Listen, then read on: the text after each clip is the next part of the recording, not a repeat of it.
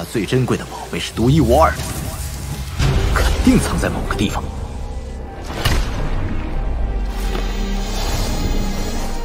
凭此破天图，你们自可各带五名手下进入逆央界。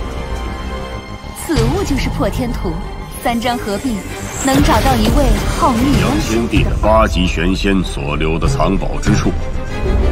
只有一件独一无二的重宝，但是破天图却有三件。那重宝到底是什么？